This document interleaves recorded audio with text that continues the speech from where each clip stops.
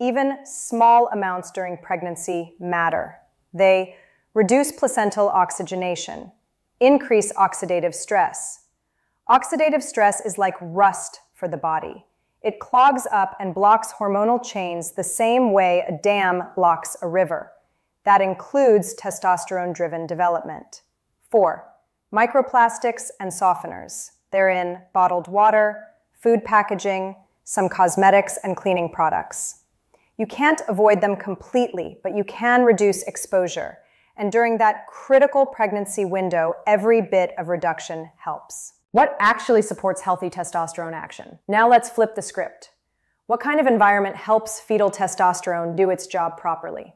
Adequate protein and micronutrients. Not eat a cow a day, not endless protein shakes.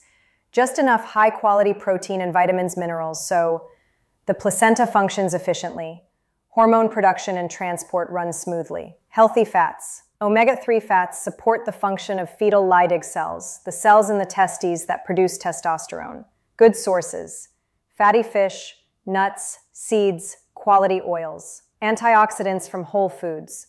Vegetables, herbs, and spices are loaded with antioxidants. These neutralize free radicals, help keep hormonal cascades clean instead of clogged by oxidative stress. It's not woo-woo, it's basic biochemistry. Stable blood sugar. Think less ultra-processed food, more whole grains, fiber, and balanced meals. A Mediterranean-style pattern. Lots of vegetables, fish, beans, olive oil, nuts is a good blueprint. Lower exposure to endocrine disruptors. Simple swaps. Glass or stainless steel over plastic when possible. Fresh food over heavily packaged convenience food. Avoid heating food in plastic containers. Again, it's not a magic trick. It's about reducing noise so the fetal testes can do what it's supposed to do. A surprising taste hack for later. Here's a cool side benefit most people don't know. Your child's future taste preferences are influenced by what the mother eats during pregnancy.